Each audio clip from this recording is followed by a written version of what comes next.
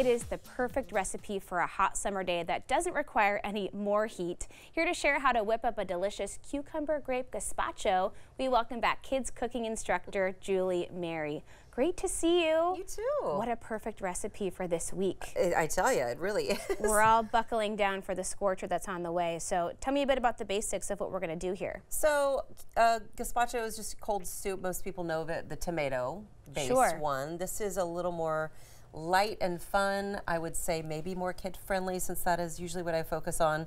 Grapes, who doesn't love green, Yeah. cold grapes? Um, cucumbers, and then some fresh herbs and some tangy stuff too to kind of be the perfect little bite. Both of my kids will eat both grapes and cucumbers, so we're on the right track. Perfect. I'm gonna keep, I kept my grapes really cold in here. Look at So we didn't have to, eat, you know, you can chill this soup after you make it, but if you keep everything in the fridge, it's gonna be cold right out of the blender. Perfect. That's a great place to start. So I'm gonna chop, so I, this, we're just gonna make half a recipe. The recipe on Okay. the website is, is a little bit bigger, but um, it calls for just like a small pickling cucumber. I just got an English cucumber because I like them because I don't have to peel them. Oh, okay. Um, I'm just gonna chop it up a little bit um, while you measure some other ingredients. I'm we ready. do have some toasted almonds is the first thing, and you can leave those out if there's a nut problem, so it's not gonna make or break the recipe. Sure. So if you want to give us two tablespoons, Two tablespoon right there. Should be pretty close And to this is all just going to go right in the blender, right? Mhm, Yeah, everything goes right in the blender, so you just mix it all up.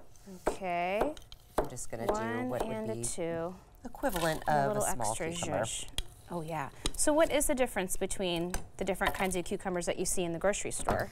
Well, the the one that everybody knows of, that you see a lot of people peel them. That skin's a little bitter Uh-huh. Okay. um, and thick. The English cucumber, or otherwise known as seedless cucumber, um, the skin is really thin, and I don't usually peel it. Perfect. One thing people don't think of when they unwrap the plastic is still give it a wash because some people don't. I didn't used to think about that until Oh, recently. So always wash always wash. everything.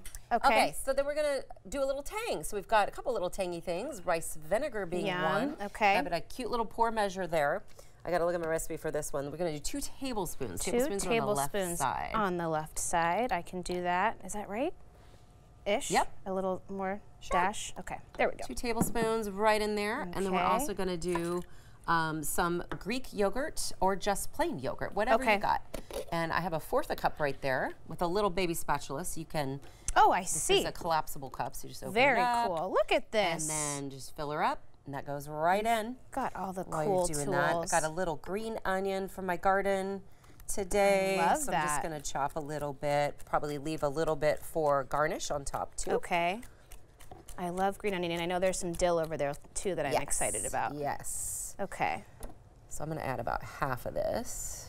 little green onion. Right. Now this is not in your recipe. This is a little. I snuck this in because I had some chocolate mint that just looked gorgeous. It is so pretty. It looks and I perfect. love mint with cucumber. Why not? So I just thought we could throw in a few sprigs as long as you are a fan. I am in. Okay. Um, so we got our yogurt. So then uh, in the orange bowl is some cream cheese. Perfect. It's going to help it, you know, have a little more substance. Yeah, use that spatula we go. probably. There we go. And Okay. then olive oil. So we'll do a little olive oil in there. And that one, you could just use that same little measuring cup. That's Okay. also going to be two tablespoons. All right. Sorry, one tablespoon. I'm, I'm One. having the recipe, so I have to do it Here on we the go. fly. Oh, sure. One tablespoon You're of doing olive oil. math on live television. that is Wish me luck. a true challenge. Okay. All right, little olive oil. Beautiful. And then this little guy, another tangy thing, would be buttermilk. Oh, So now I'm gonna give this to you. We're gonna do Okay. just we can pour it in there or whatever's easier. You can scoop it with the spoon or How much are you here. thinking? Let's do about a tablespoon and a half. okay. I'm gonna pour because I think that this is less likely for me to make a gigantic mess. Perfect. There we go. All right, so we've got, I just threw in a little mint, I threw in a little um, green onion, AKA scallion, and then we have some fresh dill. So Yum. I usually just pull off the little um, Okay. fronds um, and don't use a whole lot of the stem. Okay. Um, I'll keep a little bit for garnish if we want. Yummy, yum. Just some fun garnish things. How many of these little As much as you dollops are we doing? I just do a little I bit. I like a lot of. Yeah, There if you we like go. a lot, There we go. There we go. Okay. And of course, as always, salt and pepper to taste. Always, always. So let's do, let's say, a nice healthy pinch in there. It's always more than you think, right? It is. Maybe one more. One more. Okay. And then just a little dash of pepper. A little uh, Perfect. shaker right there. I feel like I'm really making this. You are. you literally are making it on live TV. With guidance of all the measurements and what to do next. Okay, now the sweetener. So we've got a lot of tang in there. Yeah. So we want to add some sweetener. Okay. So I can help you with this because there's a lot of them in here. Okay. We don't need this entire bag. Sure. Um, half of a recipe would be about a pound. Okay. Um, And you really just throw them in there. uh, yeah, and feel free to pop one in your mouth. I, I tested them at the store and they're very sweet. And so I mean, that's what you want. ice cold. That's going to be so, so refreshing. Yes. I'm gonna add just a little. Let's do a little more. Okay. Just a little more green grapes. Beautiful. We like sweetness, and of course, as you blend it all up, it's all but going to become not perfectly smooth, but just enough that Okay. you have a little bit of chew to it. But it is you can be able to drink it. And is a green grape more ideal for this recipe?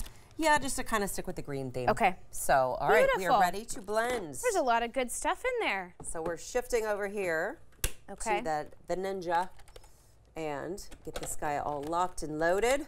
You want to do it? Oh gosh. Kids okay, always you're really over the putting me to work. Okay. Are we The power, or are button, we pulse? Power. Power. And then let's do medium. Okay.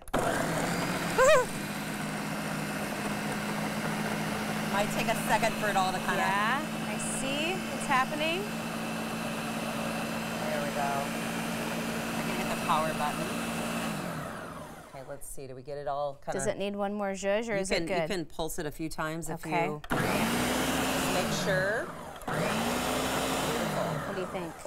I think that looks It looks good. beautiful. So Okay, I'm walking away from the power tool. You're back in charge now. Uh, the great thing about this is it has a little pour spout. Oh, awesome. So, oh my goodness, that looks amazing. Oh, and I can smells amazing. smell it immediately. Now, feel free to garnish with any of those little oh, green Oh, onions. Sorry, sure. this is kind of Put a little dill, get all this in here. a little green onion on top. Look at this. Can we see how beautiful the And color is on saved- that? I like to save the top of the mint oh, perfect. because it's cute as I destroy it as I Yummy. it. Anyway, you get the idea. Do we dive in as a Should sip we? or do you scoop? I like to sip. I, let's But do you it. can do either. Cheers. Cheers. So refreshing. so much flavor. Mm-hmm. And you can Sweet. Mm-hmm. add more sweet. You can add less grapes. Make it however It's nice though because you get the sweet and the tangy and all Mm-hmm. the herbs and just a hint of spice. Mm -hmm. You can, and you still have a little chew to it. For So, sure. which I like. Thank you so much. it was great to see you. What a perfect recipe. We will have this recipe and more about Julie on our website at katu.com. We'll be right back with more Afternoon Live right after this.